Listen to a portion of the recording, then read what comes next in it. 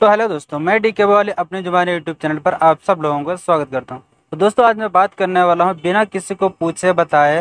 दोस्तों, ऐसे व्हाट्सअप में एक ट्रिक आई है, जिससे आप अपने डिलीट किए हुए एस को या वॉइस रिकॉर्डिंग को दोबारा फिर से सुन सकते हैं।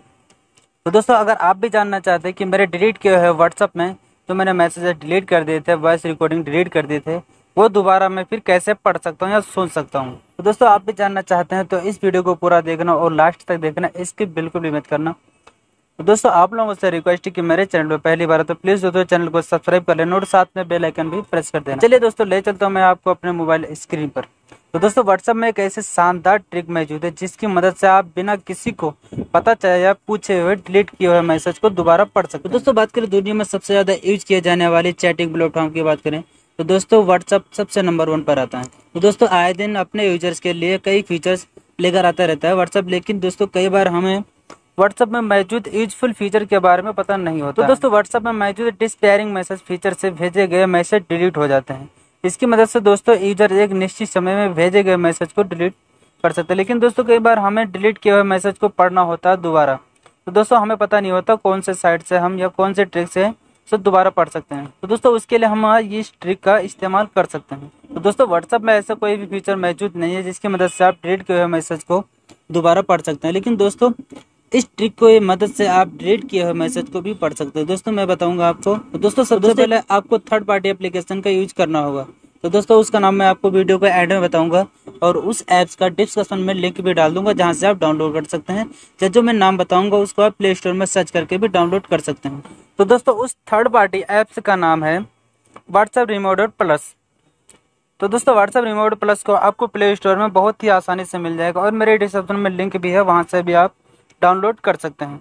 तो दोस्तों, चलिए मैं आपको प्ले स्टोर में सर्च करके दिखाता हूँ और कौन कौन सी सेटिंग करना है, जिसके बाद आप उसको ओपन करके चालू कर सकते हैं। दोस्तों, मैं आ गया अपने मोबाइल स्क्रीन पर और प्ले स्टोर में सर्च करता हूँ और उसके बाद उसको डाउनलोड करता हूँ। तो दोस्तों वार्ड से रिमूव अबाउट प्लस आपने प्ले स्टोर में सर्च करना है और वहाँ से उसको आपने डाउनलोड कर लेना तो दोस्तों, देख रहे होंगे, यहाँ पर सबसे पहले आ गया और इसको मैं डाउनलोड कर लेता हूँ।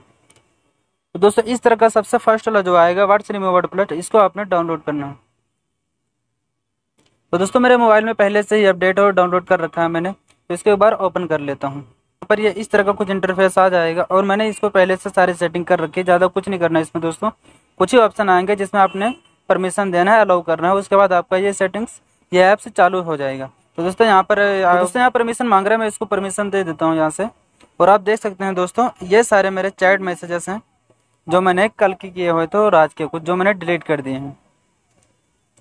तो दोस्तों इसमें देख सकते हैं वो सारे मैसेजेस आ रहे हैं जो मैंने व्हाट्सअप के थे या फेसबुक के थे जो भी एस थे वो सारे इसमें। आ रहे दोस्तों इसमें मैंने कई भी साइटें खोल रखी हैं इसमें लिंक कर रखा है जैसे फेसबुक हो गया और फेसबुक है इसमें व्हाट्सअप इंस्टाग्राम कई भी ऐसे मैसेंजर्स हैं इंस्टाग्राम है फेसबुक है ये सारे मैंने इसमें लिंक कर रखे हैं।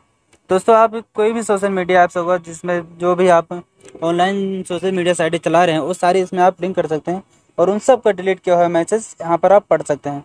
तो दोस्तों आप देख सकते हैं ये सारे मैंने डिलीट किए हुए मैसेजेस थे और बात किए हुए जितने भी थे वो सारे मैसेजेस यहाँ शो हो रहे हैं। तो ये अगर मैं बैक साइड से डिलीट भी कर दूँगा तो यहाँ पर वो शो होते रहेंगे। तो दोस्तों, ये आज के मैसेज था और मैं आपको कल के दिखा देता हूँ अभी। तो दोस्तों, ये देख सकते हैं सारे वॉइस रिकॉर्डिंग और ये सारी कल की हैं। ये आज की नहीं है दोस्तों, ये कल की हैं, बीस तारीख की हैं। ये देख सकते हैं दोस्तों, ये सारे वॉइस रिकॉर्डिंग कल के हैं या फ़ोटोज़ भी कल के हैं। तो दोस्तों, ये एक ग्रुप का मैसेज था जो मैंने डिलीट कर दिया था, लेकिन फिर भी यहाँ पे ये शो हो रहा है अभी भी। दोस्तों, मैं आपको दिखा देता हूँ, एक बार देख सकते हैं यहाँ पर। सारे दिख रहे हैं। सैटरडे बीस मार्च और 2021 ये टाइमिंग दिख रहा है। दोस्तों, ये कल की थी और आज तो दोस्तों, आप देख सकते हैं ये 20 मार्च की रिकॉर्डिंग है और आज 21 मार्च है।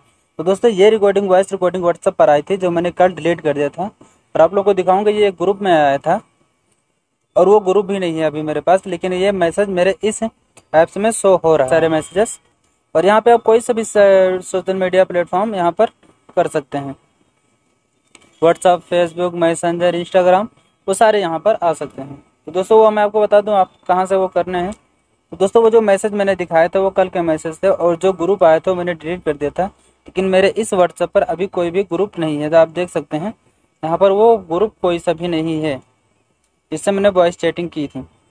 और आप भी कोई व्हाट्सएप पर किए हुए चैटिंग वॉइस रिकॉर्डिंग अगर आपकी डिलीट हो चुकी है या डिलीट कर दिया है तो आप इस ऐप्स के ज़रिए आप उसको रिकवर कर सकते हैं और दोबारा सुन सकते हैं या पढ़ सकते हैं। दोस्तों, उम्मीद करता हूँ आप लोगों को वीडियो पसंद आएगा आया आपको वीडियो पसंद है, दोस्तों, चैनल को सब्सक्राइब कर लेना और वीडियो को लाइक शेयर कमेंट ज़रूर कर देना। सब्सक्राइब कर देना और साथ में बेल आइकन भी प्रेस कर देना, जिससे हर वीडियो की नोटिफिकेशन सबसे पहले आपको मिलती रहेगी। चलिए, फिर मिलते हैं नेक्स्ट वीडियो में। तब तक के लिए जय हिंद, जय भारत। बने रहे डी वाले अपनी ज़ुबान के साथ।